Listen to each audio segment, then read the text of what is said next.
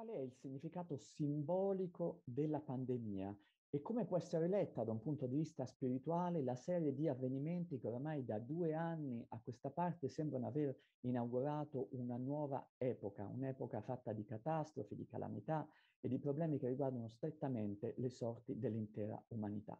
Per rispondere a questi quesiti abbiamo intervistato Kempo Gelek Jimpa, che è l'abate del più importante monastero di tradizione pre-buddista, quindi tradizione Bön in Occidente, in Europa in particolare.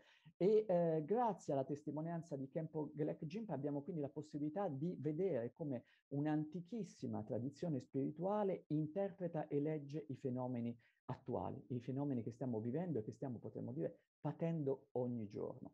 Eh, grazie a questa intervista che abbiamo eh, tradotto in italiano per eh, i nostri ascoltatori, eh, Kempo Gelek ci permette di capire non solo il significato globale di questi avvenimenti, ma anche ci spiega come è possibile a livello individuale proteggersi, difendersi, ovviamente attraverso un'ottica e un'azione che eh, si muovono soprattutto su un piano spirituale, ma anche cercherà di rispondere Kempo Gelek eh, al modo in cui possiamo inquadrare questi avvenimenti, che sono oramai un vero concatenarsi di avvenimenti che non lasciano più spazio a nessun momento di pausa, come possono essere letti in una visione eh, temporale. Questo significa com'è che possiamo leggere questi eventi in relazione a quella che normalmente nel pensiero uh, orientale viene chiamata l'epoca finale, l'epoca del Kali Yuga. Siamo veramente alla fine dei tempi o c'è qualcosa che ci può salvare? Kempola, qual è il punto di vista della tradizione Bompo rispetto al momento attuale che stiamo vivendo e qual è il significato, secondo questa tradizione, di questa stessa malattia? Normalmente nella tradizione Bompo, nella religione Bompo, noi crediamo al karma, Ora, il karma non è qualcosa che qualcuno vi consegna, vi dà, è qualcosa di personale che creiamo noi stessi. Il karma è qualcosa che noi stessi generiamo e creiamo. Possiamo dire che il karma è il seme delle nostre azioni, quindi quelle che possiamo compiere attraverso la mente, la parola e il corpo secondo gli insegnamenti della tradizione Bompo e gli insegnamenti del Buddha Tompa Sherab, che è il Buddha fondatore della nostra religione. Viene detto che gli esseri umani hanno la capacità al proprio interno di creare del karma negativo accumulando delle azioni negative. questo accumulo di azioni negative eh, aumenta nel, col trascorrere del tempo e in ultima analisi succede che eh, progressivamente le azioni negative, i risultati delle azioni negative prevalgono sulle azioni positive e sui risultati stessi delle azioni positive. Ora questo su una lunga durata ovviamente ha dei riflessi e delle conseguenze anche a livello esterno, esteriore, nel mondo fuori di noi.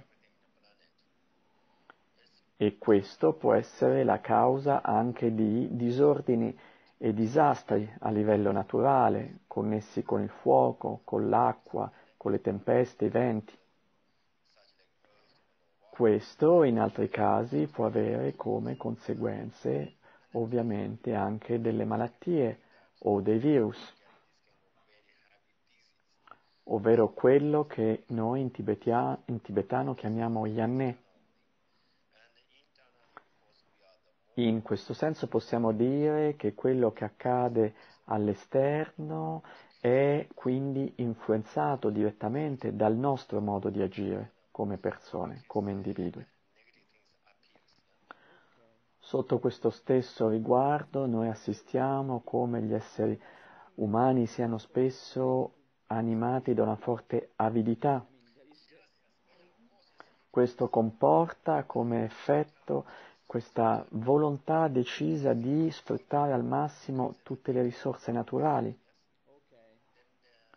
Questo sfruttamento esasperato eh, delle risorse naturali ovviamente genera dei mutamenti e degli squilibri a livello ambientale. Quindi questo sfruttamento, come ad esempio l'abbattimento sconsiderato di foreste, beh, nella nostra tradizione viene detto che questo per forza comporta delle conseguenze negative.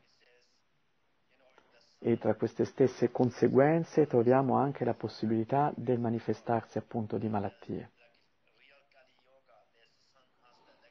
Quindi malattie, ma non solo malattie, anche altri generi di sofferenze che possono colpire gli esseri umani. Quello che stiamo dicendo vale soprattutto nella relazione tra gli esseri umani e il mondo esterno, però è anche vero che ci sono degli elementi che riguardano la sfera interna, interiore della persona. A livello interno, quindi, questo accumularsi e questo aumento di azioni negative può influenzare la lunghezza della vita e anche la stessa prosperità delle persone. In questo senso possiamo dunque dire che esiste una stretta correlazione tra le azioni degli individui e quello che accade esternamente, e ma è anche vero che questa è un'epoca molto particolare, quindi a livello eh, universale, cosmico, è un momento particolare. In sanscrito si parla spesso dell'epoca del Kali Yuga. Dal nostro punto di vista, dal punto di vista della tradizione, questa non è ancora tuttavia l'epoca finale. Il peggio deve ancora arrivare. Nei testi e negli insegnamenti di cosmologia della tradizione Bompo si dice ad esempio che nelle epoche ultime il Sole, in particolare il Sole, aumenterà enormemente le sue capacità e il suo calore. Ad esempio, sempre a questo riguardo, si dice che nel Kali Yuga, quindi in questa epoca finale, il Sole avrà la potenza di sette soli contemporaneamente. Quindi immaginate un Sole che avrà la potenza di sette soli contemporaneamente. E questo è qualcosa che in maniera graduale noi possiamo già percepire. Se voi guardate ad esempio come le estati stia aumentando la temperatura, ebbene questi sono davvero dei segni che si riferiscono esattamente a questo genere di circostanze. A questo stesso riguardo le malattie possono essere collocate in questo analogo contesto e si dice quindi di malattie che appariranno e scompariranno. Quello che ovviamente sta accadendo è connesso a ciò che nella nostra tradizione eh, normalmente definiamo come impermanenza, tutti i fenomeni sono impermanenti, questo significa che ad ogni istante tutto cambia, nulla rimane stabile. Questa nozione di impermanenza, che quindi è un pilastro importante nella nostra filosofia, eh, poi può manifestarsi in maniera concreta anche negli eventi che noi viviamo. È per questo motivo che nella nostra tradizione parliamo di quattro cause ben distinte che possono generare problemi e distorsioni e che sono le armi. Questo significa dunque le guerre, ma abbiamo poi le carestie, le malattie e infine i disastri naturali. Quindi in generale parliamo di queste quattro cause questi quattro elementi che possono creare distruzione all'interno del pianeta, all'interno della nostra dimensione di esistenza a livello collettivo.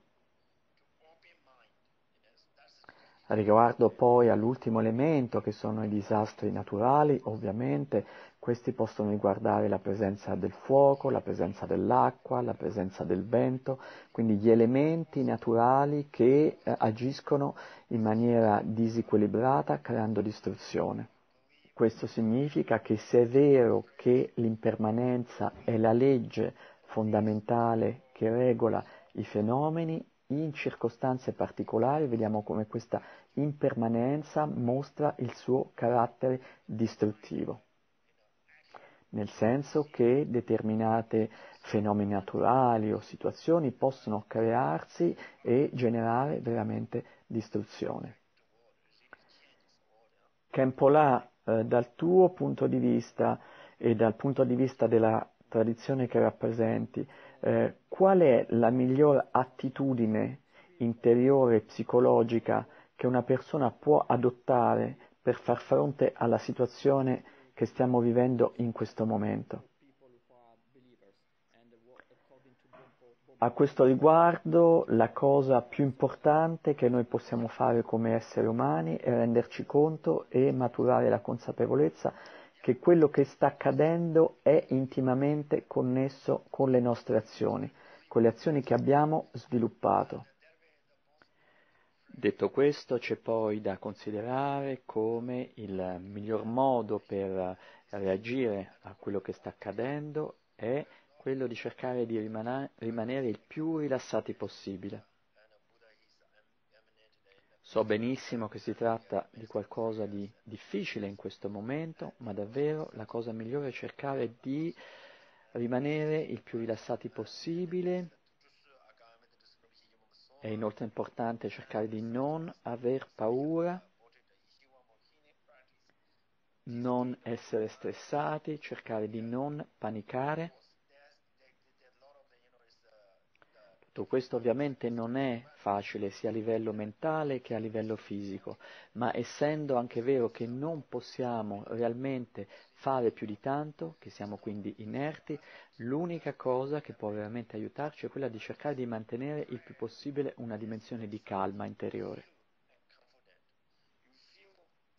Al tempo stesso è importante cercare di pregare e di condividere con gli altri ciò che abbiamo di buono, ciò che di buono possiamo condividere con tutti gli altri. Sempre a questo riguardo è fondamentale cercare di rimanere con la mente aperta. Voi potete aiutare direttamente le persone che vi circondano, gli altri, se non abbiamo modo di aiutare direttamente gli altri, è importante cercare di mantenere una mente con un'attitudine fondamentalmente positiva. L'energia positiva generata dalla nostra attitudine positiva ha realmente il potere di cambiare l'ambiente che ci circonda. Se per di più voi siete persone che credono, è importante quindi pregare. Se siete persone non credenti, allora cercate veramente di mantenere questa attitudine positiva, fondamentalmente a livello interiore. E tutto questo ovviamente a livello mentale, a livello verbale e a livello delle nostre azioni. Questo davvero, tutto questo ha davvero il potere di cambiare la polarità dell'energia all'interno della, del mondo.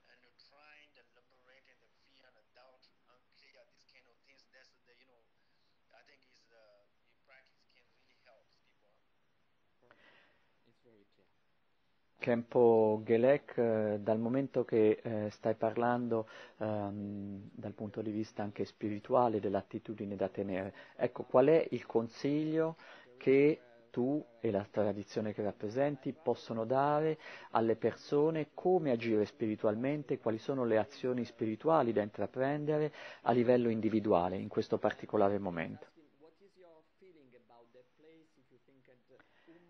Allora, per quello che riguarda il punto di vista eh, spirituale eh, delle persone che quindi sono dei credenti, ovviamente ci sono tante eh, tradizioni differenti e tante modalità diverse secondo le varie tradizioni di appartenenza. quello che abbiamo detto in generale è importante mantenere questa attitudine positiva della mente, questa motivazione positiva all'interno di noi. Per quello che riguarda poi la tradizione eh, Bön, qui abbiamo eh, varie pratiche, come quelle ad esempio del Buddha della medicina, vi sono pratiche come quelle della recitazione dei mantra di guarigione o di preghiere di guarigione. Vi sono poi dei mantra specifici, come diciamo noi, per liberare gli ostacoli. A questo specifico riguardo, ad esempio, abbiamo il mantra Akarame tutti sono Aposhishimal Mal, Akarame tutti sono Aposhishimal Mal Soha, Sempre in questo contesto poi sono fo- fondamentali le pratiche come le pratiche per eh, i protettori, quindi che si indirizzano a quelli che noi chiamiamo i protettori e in particolare a Yeshewalmo. Yeshewalmo che è quindi questa divinità, questo Buddha illuminato eh, femminile che è particolarmente connesso con la terapia e la guarigione. Questo genere di pratiche, questo genere di mantra hanno il potere reale di aiutare le persone e l'efficacia stessa di questi mantra legata al fatto che la persona che li, rice- li recita eh, si senta realmente sostenuto, si senta realmente protetto dalle divinità o dalle entità a cui si sta indirizzando. Questo genere di pratiche hanno ovviamente degli effetti non solo sull'aspetto eh, fisico e materiale della persona, ma anche sulla eh, compagine interiore della persona. Queste pratiche permettono veramente di farci sentire che siamo protetti, ci fanno autenticamente sentire che qualcuno si sta prendendo cura di noi. È per tutte queste ragioni che noi abbiamo numerose pratiche che si riferiscono proprio a questa circostanza ed è anche importante non solo la pratica ma il dedicare i benefici della pratica stessa, quindi delle preghiere stesse, proprio per aiutare tutti gli esseri senzienti, tutti gli esseri viventi, in particolar modo quelli che in questo momento stanno soffrendo. Kempo Gelek eh, là, eh, sempre a questo riguardo, volevamo domandarti, pensi che eh, esistano, eh, soprattutto in questo momento, dei luoghi più propizi per la pratica, dei luoghi dove la pratica stessa può avere più efficacia piuttosto che altre località geografiche? Credo veramente che in questo momento ogni luogo sia autenticamente propizio per la pratica questo nel senso che abbiamo l'occasione in maniera eh, diretta e tangibile di sperimentare cosa significhi la legge dell'impermanenza, cosa significhi il karma, come funzioni sia la legge dell'impermanenza sia il karma. Veramente ora in maniera diretta possiamo cogliere cosa significhi la natura dell'impermanenza dei fenomeni. Questa è una grande occasione. Praticare non significa ritirarsi in dei luoghi ameni, lontani da tutto e da tutti, dove sia possibile appunto meditare eh, in pace e in tranquillità. Non è questo. Praticare significa applicarsi in maniera tale da purificare le impurità della nostra mente come liberare anche le azioni impure.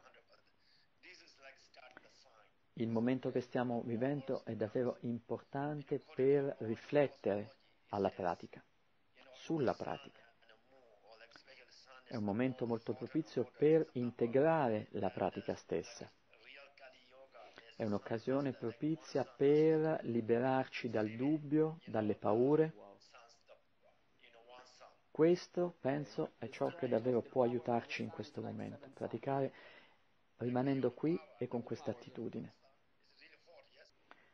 Kempola, questa è l'ultima uh, domanda che volevamo farti, molto semplice. Se tu potessi riassumere in una sola frase uh, qual è il consiglio che tu uh, vorresti dare a tutte le persone, a tutti gli esseri umani in questo momento particolare?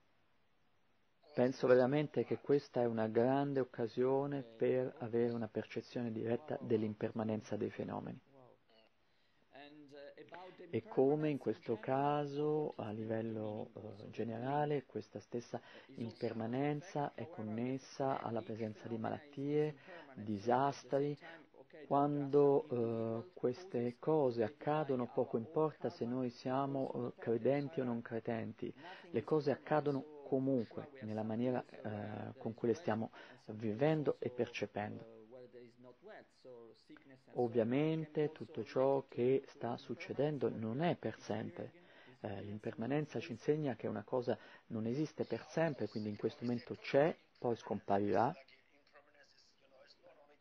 Per quanto riguarda questo momento, penso davvero che sia importante cercare di non speculare troppo non domandarsi troppo, non avere troppe aspettative, non parlare, non ragionare troppo, perché in realtà nessuno di noi ha le capacità reali di sapere cosa accadrà tutto ciò che noi possiamo ascoltare, tutto ciò che ogni persona può dire, molto probabilmente c'è una parte di verità, ma c'è un'altra parte che invece riguarda delle ipotesi. Più noi speculiamo, più c'è il rischio che diamo adito a ulteriori dubbi. Ovviamente questo è naturale, eh, agire in questo modo, eh, anche perché la situazione è molto eh, difficile e piena di dolore, ci sono molti malati, ci sono molti morti. Noi siamo quindi preoccupati per noi, per la nostra famiglia, per la nostra nazione, per i nostri amici. So benissimo che è difficile, ma tuttavia non è impossibile cercare di mantenere un animo sereno, una mente calma, rimanere rilassati senza divenire, senza diventare preda dell'agitazione, della paura o della preoccupazione. Questo è davvero importante, cercare di rimanere rilassati sia con il corpo, con la mente, la dimensione energetica interiore e assieme a questo cercare di coltivare costantemente un'attitudine positiva. Questo sì, penso davvero sia importante, cercare di non essere troppo spaventati, troppo stressati, eh, non farci, eh, non cadere in preda al panico, cercando quindi al tempo stesso di rimanere eh, con un'attitudine positiva e con una mente eh, serena, senza tuttavia farsi troppe domande o interrogarsi troppo su ciò che accadrà domani.